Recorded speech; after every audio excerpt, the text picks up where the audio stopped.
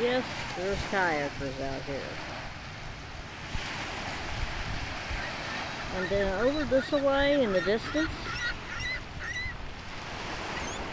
you can see a portion of the causeway and Honeymoon Island.